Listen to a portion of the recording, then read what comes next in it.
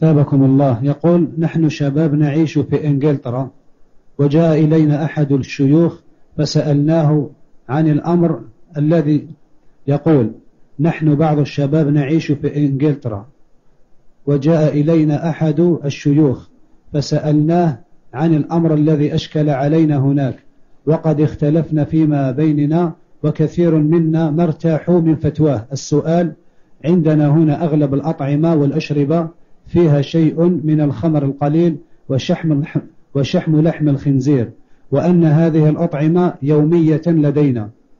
ثم الشيخ أفتانا بجوازها إن كانت الخمر أو شحم لحم الخنزير يذهب أثرها وطعمها ورائحتها عن هذه الأطعمة. فنرجو من فضيلتكم التوضيح في هذا الأمر.